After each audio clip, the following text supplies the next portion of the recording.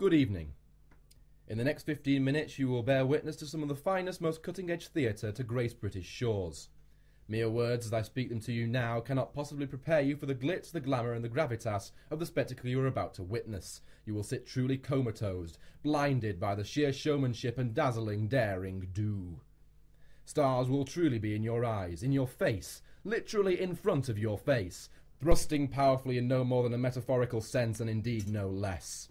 You will bear witness to show stopping chorus lines, gorgeous costumes, cabaret, pyrotechnics, non stop laughs, non stop fun, non stop, non stop. Impressionists, ventriloquists, pirates, ninjas, pirate ninjas, jugglers, fire eaters, clowns, fire eating clowns, acrobats, go go dancers, strippers, full frontal nudity, exotic ladyboys, lady girls from Fife, full on hardcore pornography, relentless shaggery, brutal stabbings, political assassinations, show trials and public hangings, military coups, World War IIs, nuclear holocaust, supernovas, the collapsing of worlds, and the rebirth of civilization, the second coming of Christ, and his live re crucifixion, all presented to you in stunning high definition. Strap thine selves in, mere mortals, mere flesh and blood, mere residue on the swirling bowl of life, for thine meek eyes are not fit to.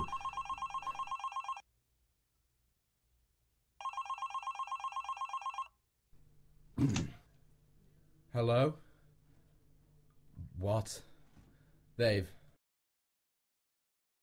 Ah. I see. Yes, okay. I do apologise, ladies and gentlemen, but uh, we appear to have run out of money. And so, in a change to our advertised programme, we now present the thoroughly thrifty Ann Widdecombe and her vagina monologues.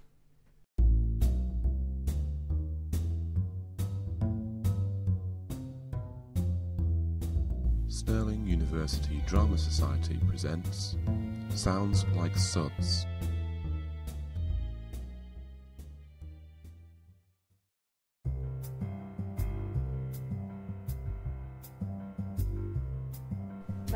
On my TV for a session on the Wii Fit, I find that I just can't be bothered anymore. I'm tired of the balance games and the yoga moves that make you look like you've got a brick in your pants. So I was pants sweatingly excited when I opened the birthday present from my grandparents and found a fantastic gift straight from Japan. The Wii Vag. This terrifying contraption, which looks like a large pair of hair straighteners, truly is the vibrator of the future. And it plugs straight into your Nintendo Wii. Now, when you clap eyes on this indiscreet device for the first time, you think to yourself, I'd rather live in an arse crack or be punched in the lung than have this in me. But it's easy to charge, it's made from white plastic and has a special attachment for other entrances. Wii Vag also comes with industrial strength cleaning solution and a pair of pliers. Should you have any problems, can also spread the cost over 9 or 12 months, provided that your intestines haven't been ripped from your insides until you've choked on your own excrement. Visit www.deargodwhy.com forward slash don't use that to order your Wii Vag now. This product is brought to you by One Girl Screwed Up Nicotine Induced Dreams. And now, the continuing adventures of Captain Spaceman. That's Spaceman. I'm sorry? My name is Spaceman. It's Jewish, like Goldman or Lieberman, but not like Steinberg. That doesn't have a man in it at all. My apologies. And now, the continuing adventures of Captain Spaceman. Thank you. This week, our courageous hero faces uncharted territory the Job Center Recruitment Office.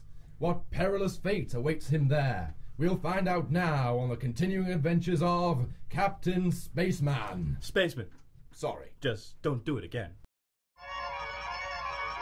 Hello, uh, can I help you? Uh, yes, you can, citizen. I have an appointment for 12.50, which is now. I am very punctual. Oh, yes, uh, a Mr. Spaceman. That's Spaceman. It's Jewish, like Goldman, but don't worry, I get that all the time. So, Mr. Spaceman, uh, what can I do for you? Captain Spaceman, if you please. It's just polite. Oh, sorry, uh, of course. Um, I'm sorry, but we don't appear to have a first name for you. Could you tell me your name, please? Captain. Your name is Captain. That is correct. Captain Spaceman. And you currently work as a. Captain of a ship. That is to say, a ship that flies through space. A spaceship, one might call it. And one would be correct to do so. So you're Captain. Captain Spaceman. That is my full title, yes. The coincidence has been pointed out to me many times before. I like to think it was destiny. That or a clever ploy by my overzealous parents. May God rest their souls. Or may the devil torture them for all eternity. It's really not my place to judge. I'm not a god, but I am close. So you've been to space. Correct. That is where spaceships go, after all. Hence the name. What's it like? Big. Space is very big and full of aliens. Some of them unfriendly. Oh, you've seen combat. A great many times. I led the fleet in the battle against the hordes of Zidon 7. We won by default when Zidonian soldiers en masse went home for lunch. A strange culture and very fat. Wow. And there was the time I took out a Zyclorax Sunar warrior on my own, with no weapon. That's amazing. Not really. Zyclorax Sonar are only three feet tall. I was basically beating up a midget. A vicious alien midget, but still a midget. I'm not proud of that. Well, not openly proud. Secretly, I loved how easy it was. Not a very tall order, eh? I don't appreciate that joke. Midgets still have feelings. They are people too, remember. Except the Zyclorax Sunar. They are not people, but they are midgets. And they have glass jaws.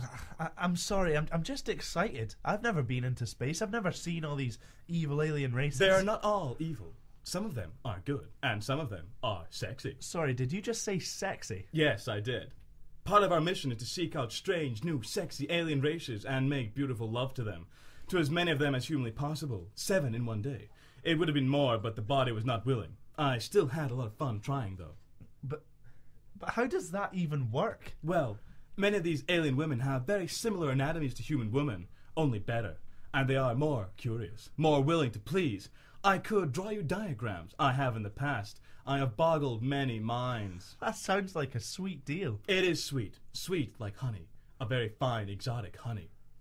But I'm to understand that you're looking for a new job. That's why you're here. Can I just ask why? Your job sounds amazing. You've only heard part of it. It's not all about fighting midgets and making love to exotic alien women, though that is a significantly large part of it. And that part is amazing. You haven't lived until you've kicked a midget in the face, then followed up by enjoying intercourse with a blue skinned goddess with three breasts. So, w- what's the problem? Job security. I keep being shot at. One day I may end up dead from being shot. I'd rather not die, especially not through being shot, which seems likely. I get shot at a lot. A lot. Fair enough.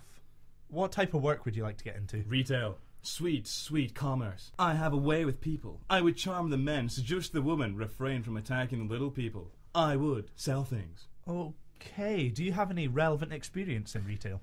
Is maneuvering through the asteroid field on the outskirts of the Zamphogian homeworld relevant experience? Is outrunning a Zumbian battle cruiser with only half engine power relevant experience? Is unifying the Zorgan and Zorgil races by simultaneously engaging in the erotic act with both their queens relevant experience? No. No, I suppose it isn't. But it's all the experience I have. Well, then I'm sorry, but I really don't think that you're cut out for retail. Also, do all these alien races' names start with the letter Z? Yes, actually, I'm not sure why it often gets confusing. Hmm, well, I'm sorry to tell you this, but I really think that the job you have is the only one you're actually suited to. I just can't see you in retail. No, I believe you're right. My great courage and stunning bravery are even evident to a simpleton like you. It is my destiny. Captain by name, captain by nature. Spaceman by name, spaceman by nature. That doesn't work.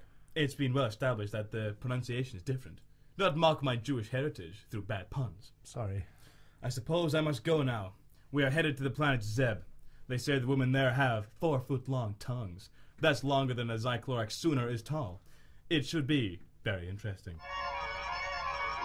Whenever humankind is in danger, wherever midgets roam free and unkicked, and where alien pornography is waiting to be directed, planet Earth has a friend in Captain Spaceman. Spaceman. Or whatever.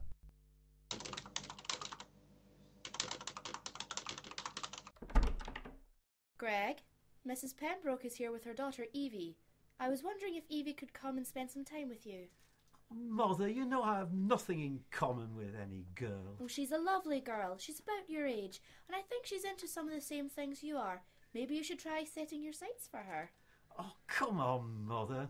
Girls are like an alien species to me, one which even the universal translator can't understand. I know, I know. Men are from Mars, women are from Venus. Yeah, right. And you know, neither Mars nor Venus supports life.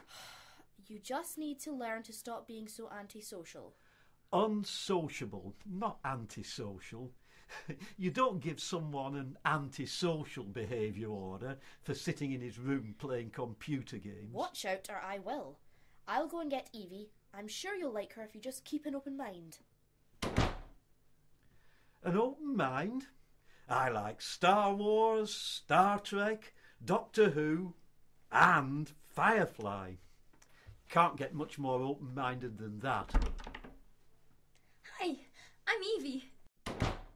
Your mum told my mum that you're into a lot of the same things I am. I doubt it. I have no interest in makeup and hanging out in malls outside clothes shops giggling at boys. Are you kidding? I have no interest in that airhead stuff. Do I look that superficial? Hey, Nova Quest! I got that game. Isn't it great? Have you figured out how to get past the troll in third level yet? It took me weeks to get that. But it's quite simple if you let your mind work that way. You can't like Nova Quest. You're a girl. Only geeks like Nova Quest, and girls can't be geeks. Careful, Greg. That sounds like sexism. If you give me any sexism, I might have to break out my Megazord, and you don't want to have to fight that. It'll kick your gluteus maximus. Don't mock me. So, why is it that girls can't be in Supernova Quest and all that?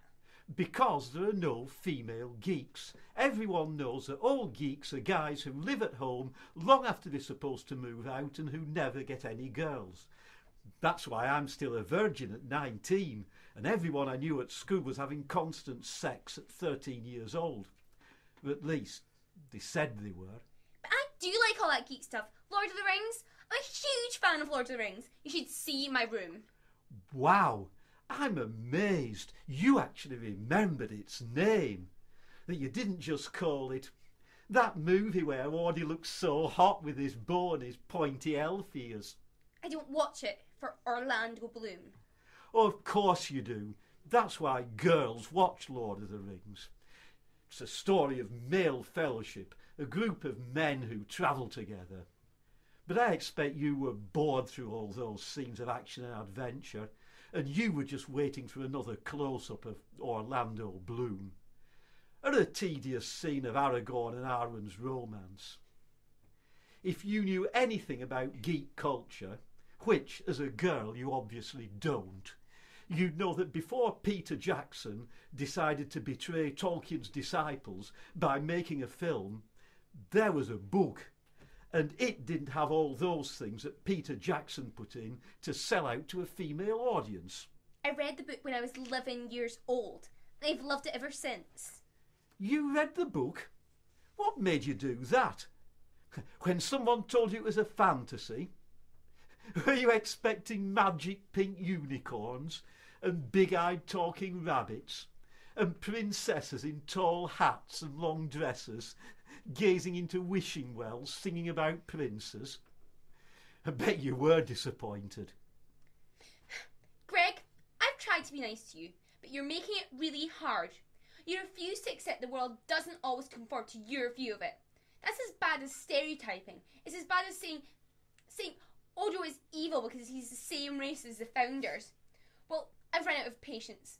Being friends with you just isn't going to help me in any way, I'm beginning to think it might be of some help to you. Well, if you continue to resist, then I'll give up. I'm not the Borg. I don't think resistance is futile. You're not fooling me with your references. Even if you do like the same things as geeks, as male geeks, you like them for completely the wrong reasons.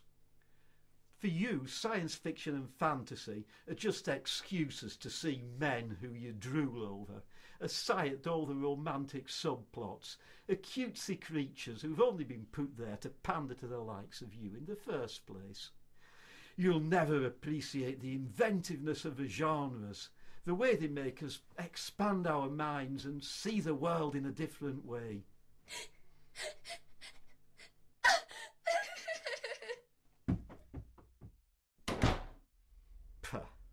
I don't need her. I've got all I need right here.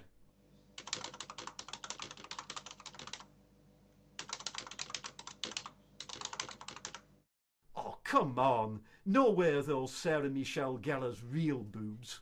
Someone photoshopped her head onto someone else's body. What a rip-off. New from Terrifying Toys, it's Boxo matches. Shake them, strike them, burn them, put them out on someone's face. Ah, not the face! Not the face! Kids love them. I'm starting a forest fire. I'm setting fire to sentient creatures. I'm burning myself for self gratification. Ah, that's the spot. They're strikeable, abusable, inflammable fun. Boxo matches, get 'em while they're hot. When we grow up, we want to be arsonists. And now there's new Cano Petrol, so your kids can really feel the burn.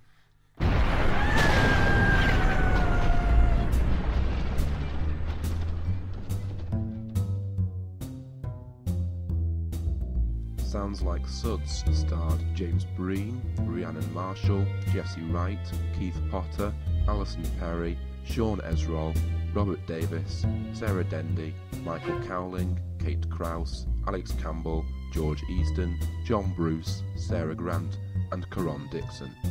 It was written by the members of the Stirling University Drama Society, and the producer was Robert Davis.